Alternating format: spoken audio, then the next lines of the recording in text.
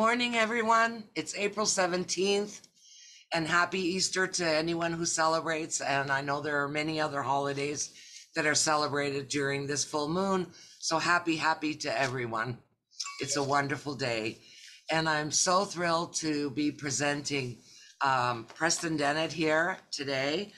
Uh, he's got 36 years as a veteran UFO researcher under his belt. Began in 1986 when he started uh, finding out that family, friends, and coworkers were having experiences, and that's how his research career began. Uh, of course, he'd had his own experiences because he's an experiencer. Um, he's he's written over a hundred articles and 28 books already. He's had his stuff um, in many UFO magazines and the LA Times and the LA Only News, Daily News. This story here is about an exceptional woman, and we're lucky enough to have Dolly S here with us. Um, she started her abduction experiences uh, early in childhood, but the first one uh, in in um, the physical was when she was 14. And uh, I'm so thrilled to have you both here. Welcome back, Preston, and welcome, Dolly, to our show. Thank you. All right, so are we ready to go then? Yeah, absolutely. All right, I do have a little PowerPoint presentation. Should take me about an hour, and then afterwards, uh, we'll do a Q&A, hopefully with Dolly will be willing to answer some questions as well, so you can speak to her firsthand. Uh, but I'm just going to get started. So I'm going to try and share screen here. All right, then I will just get started here. And uh, yeah, my presentation today is called Symmetry, a True UFO Adventure. And this is all about the experiences of my dear friend, Dolly Safran, who decided she was going to go public some years ago and started looking for a UFO researcher and uh, was having trouble finding one that she really trusted to tell her story and her ET contacts actually referred her to me by name, which was really thrilling and humbling for me to hear. So apparently the ETs do know about me. And uh, she reached out and we started corresponding, emailing, talking on the phone. And here we are, some five, well, no, seven years later. And uh, the book has finally come out. It's about one month old, not quite. And uh, let's just get started. Uh, these are all the UFO books I've written so far, over 35, 36 years of UFO research. So you can see I've been at this a long time. And uh, this latest book, Symmetry, is my 29th book. And uh, it's all about the experiences of Dolly Saffron. I can tell you with confidence that this is the most extensive case of UFO contact I've ever had the privilege to research or really even read about. Uh, I've interviewed a lot of people. Many of them have had very extensive experiences, but often they have missing time. Many of them are quite fearful. Dolly is what we would call a fully conscious contactee. While she did have missing time, often as a young child at age 14, that all changed.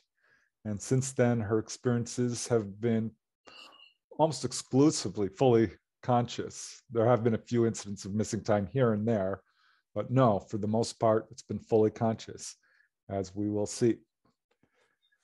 So here is Dolly's family, her mother, her, her, father, Robert, and there's Dolly there on the right and her little brother, Bobby. They grew up in Florida mostly. They did move around a lot because Dolly's father was in the Army, an airborne ranger. And, uh, but they grew up largely in Florida uh, in a sort of farmhouse or a ranch on the edge of the Florida Everglades. And this is where Dolly's experiences first really began. And they began when she was very young, about 10 months old. The earliest experience she can remember is suddenly floating out of her crib. A blazing light filled the room. This was during the day. And next thing she knows, she's floating upwards, freaked her out. She's turning around and squirming and trying to get back into her crib. And that's all she really remembers. But following that, this sort of thing happened many times. And in fact, Dolly developed the habit, as you can see here, of sleeping with her legs stuck through the bars of the crib in an effort to stop this from happening. And uh, so she does remember from a very, very young age. And this is something I do hear from some contactees. Their memory is extraordinary. Dolly does have an eidetic memory. Uh, that's another thing I do hear from contactees. So her experiences began very, very early. And in fact, uh, following this event, Dolly would often disappear from the house. Uh, and this would happen over and over again. Sometimes um, I, am hearing some something in the background there, so please, if you're not muted.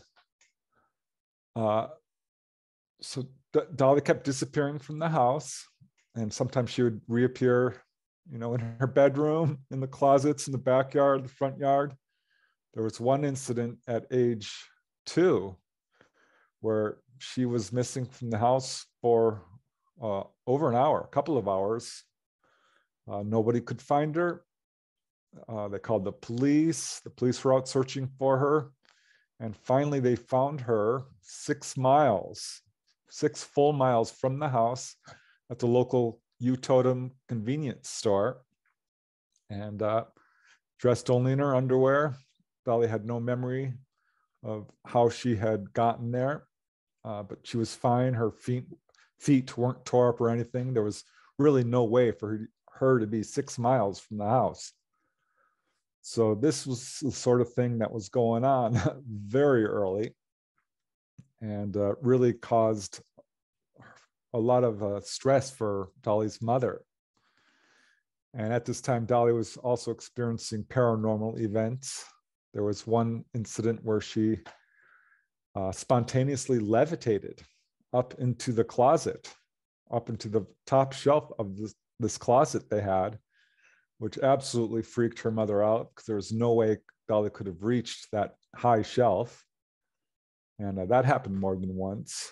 So all these things were really causing a lot of stress with Dolly's mother. And uh, they bought guard dogs.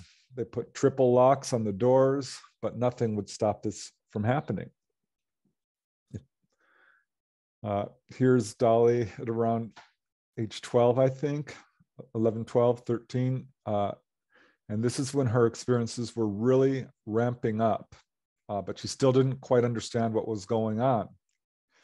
Uh, she was not connecting this to UFOs, but she would see them.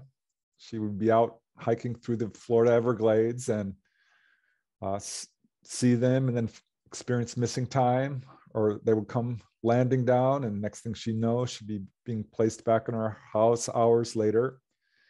And she started to have some memories of what was going on, of being taken, uh, of being in a ship, of being on what appears to be another planet.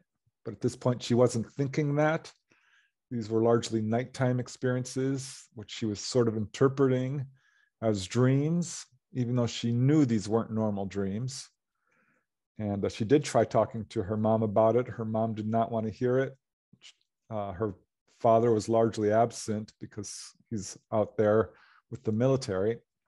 So she was already learning from a very young age not to talk about this. And uh, here are the pictures of Dolly's window, the jalousie windows. And it was here that she had her first real major experience. She was uh, often, well, let me just go forward here one more slide. At age six, Dolly had her first real major experience that uh, really had an impact on her. And uh, they had just gone to see the movie Mary Poppins uh, some weeks earlier. And Dolly decided she was going to sit out in the front yard underneath the big ficus tree. And she was just lying down, watching the sky, the clouds in the blue sky. This was during the day. When looking up, she saw what she thought was an umbrella coming down, like Mary Poppins. She heard music playing and she sits up and sees, well, this isn't an umbrella at all. It's some sort of craft. And the next thing she knows, she's inside of it. And there is this figure. This drawing is done by Dolly. And this is a tall gray. And this figure was very friendly, very nurturing. Um, and pictured here, you know, a large bald head, large eyes, and uh, approached Dolly. And Dolly's like, Who are you? And this tall gray said, You can call me Mama. I'm going to be your main contact. We are going to be meeting in the future. You have no reason to fear, uh, but we would like to work with you. And basically just started talking to Dolly and learning about her and her interests. And this was Dolly's first experience. Again, she wasn't thinking ET. This was just an unusual looking woman who was very kind to her, uh, which was very helpful to Dolly because Dolly's mother was quite stern and uh, their relationship was having some strife because of Dolly's experiences, uh, largely. So this was Dolly's first major memory of having direct face-to-face contact. And from this point on, this was at age six, it really started to ramp up. And uh, she knew something very unusual was happening to her, but she couldn't quite connect the dots. Uh, there was talk about UFOs in her family, especially because her father was in the military. But at this point, she wasn't really thinking, you know, I'm in contact with ETs or being taken to another planet, though that's exactly what was happening.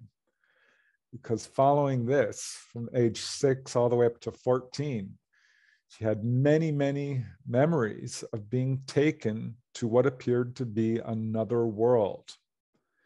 And Dolly calls this the tree planet or the learning center. And she said, yeah, it was a very beautiful place filled with life. There were gravity there was much less here on Earth. And in fact, when she would get there, she was able to jump 20, 30 feet into the air, something which caused uh, great consternation among the Greys who had take her, taken her there. Uh, and uh, she would go running up to these, you know, 10 foot tall flowers and they would try to stop her, say, listen, you can't go running off. Some of the plants here are dangerous. Uh, Dolly describes this planet as being so thick with life that the smells alone would just knock you over and just so rich in foliage and trees that it made Earth look like almost a dead planet. And each time they took her there, it was with another, with a group of other children, about a dozen of them, all girls, and they would be taken up into this massive tree. And when I say massive, it's like a skyscraper, really big. And uh, they would take her to, up to this sort of treehouse, this pagoda. And this is where they would start teaching her on various subjects. Now, this was just girls, though in a nearby tree, there were boys being taught as well.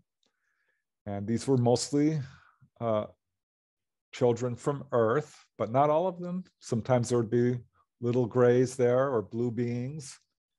And again, Dolly wasn't thinking ETs. These were just people, people who sometimes looked different. But she was waking up more and more because they were teaching her initially largely about ethics, morality, uh, doing the right thing, Uh, but this started to move more and more towards other subjects such as spirituality, psychic development, science. A lot of it was very much science based, especially as she grew older. So she was learning physics, mathematics, astronomy. Uh, so by age 10, 11, 12, Dolly was already very intelligent. And this caused a lot of problems back at school because while she was in grade school, uh, they were teaching very basic subjects, you know, the days of the week, the months, you know, two plus two equals four, four plus four equals eight. And this drove Dolly crazy. She already knew all this stuff. She was reading at a co- college level by this point and drove her teachers absolutely crazy. She ended up spending most of her time in school being uh, ordered out of class and spending time in the library. So this was difficult for Dolly and caused some isolation, but at the same time, it was this amazing adventure. And she was still trying to figure things out at this point. Uh, it was clear to her that this was more than dreams, but each time she tried to talk to people about it, they'd look at her sideways, uh, call her a liar. Uh, so she's again learned to keep herself quiet. She did have some really unusual experiences. One time she found herself taken to a very different environment, and it was a party, uh, which appeared to be in a foreign country because everyone was speaking Swedish. Dolly does speak Swedish fluently. Uh, that was her first language. Her grandmother spoke it.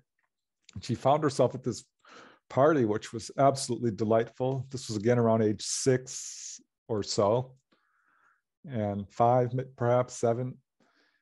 And uh, it was this wonderful party with pastries and beautiful tablecloths. And uh, they were celebrating the birthday of these girls. And the, their father was a painter and had them all sort of pose so he could do sketches and paint them and it wasn't until some years later, when Dolly was a teenager, that her grandmother was paging through the book of a famous artist by the name of Carl Larsson and came upon this picture, pictured here at the left, which is called Kersti's birthday. And her grandmother staring at it and says, You know, that one girl there, pictured at the inset, looks just like you, Dolly. And Dolly was freaking out because she recognized herself as well. And uh, she stared at the picture and immediately flashed back to this experience at age six or so, where she remembered being taken to this party. Uh, mind you, this when she was taken to this party, it was early 19, well, let's see, 1969 or so. Well, 1960, well, let me see, 1966 or so. But this painting was made in 1910. So it looked as if, I mean, there was no other explanation other than being taken back in time. And this would not be the only instance of this sort of thing happening. So this really threw Dolly for a loop when she saw this picture and remembered being taken to this party, and uh, which was painted in a very famous painting in 1910. So lots of really high strangeness with Dolly's case. And another instance happened also when she was a very young girl. She remembered being taken on board the craft, and there was a young gentleman there who African American who was playing guitar and everyone was gathered around and listening to him singing. And Dolly recognized him as being a famous musician on earth At that point, she was still too young to really uh, know his name. And it wasn't until years later when Jimi Hendrix passed away that Dolly recognized him and remembered that she had seen him on board a craft. And when I heard that, I was amazed because I had already researched Jimi Hendrix and knew that he was a UFO contactee. Uh, his bandmate Brian Knight uh, talked about this and how they had had a first hand face to face encounter Jimi Hendrix did reveal that he had numerous UFO sightings and sort of hinted at much deeper levels of contact. But yeah, Dolly apparently saw Jimi Hendrix on board a UFO. And this would not be the only time she's seen people on board UFOs, and some who were, in fact, very well known. But moving along, Dolly does remember from you know age six all the way up to 14 being taken to other planets uh, also within our solar system. And uh, this was something that they did fairly regularly. They took her to see saturn and all the moons of saturn showed her the rings close up. They took her to see jupiter as well and other planets. Still she wasn't fully connecting to what was happening to her until age 14.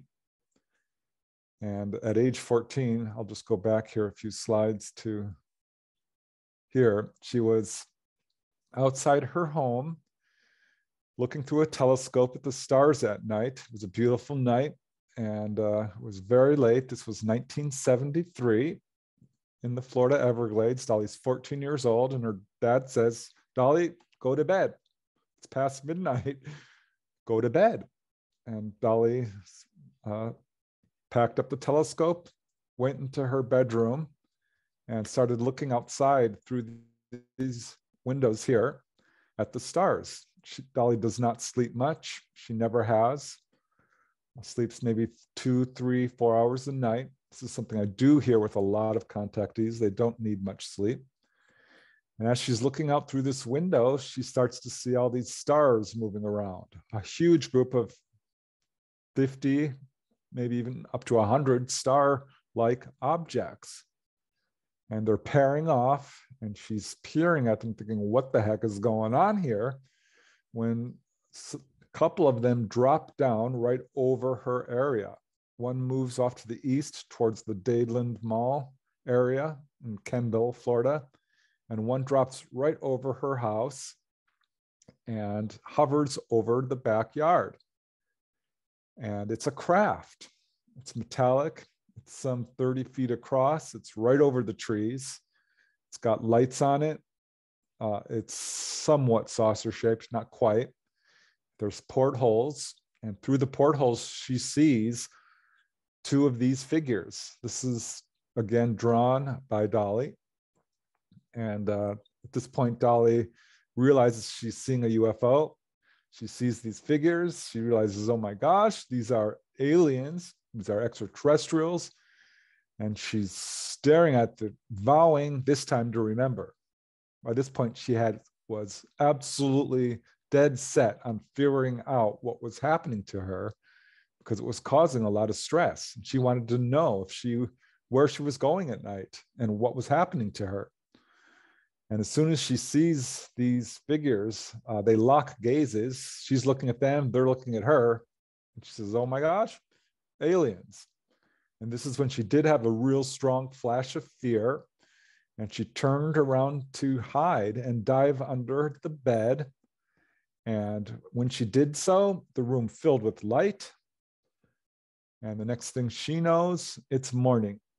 She can hear her mom downstairs and Dolly uh, starts, stands up, realizes she's wearing someone else's pajamas. They're on inside out and backwards.